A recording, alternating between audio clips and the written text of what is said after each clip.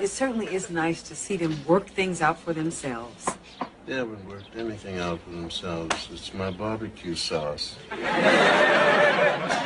Your barbecue sauce. My barbecue sauce. Haven't you ever noticed after people have some of my barbecue sauce, after a while when it kicks in, they get all huggy buggy?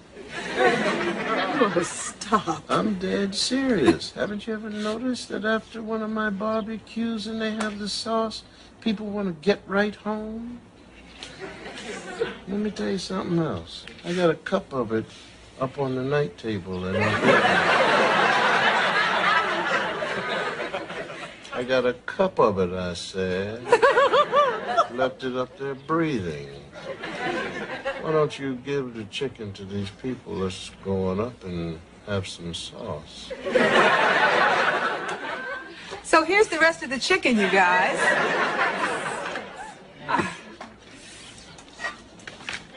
Dr. Huxtable, I love this chicken. Oh, Rudy, you look really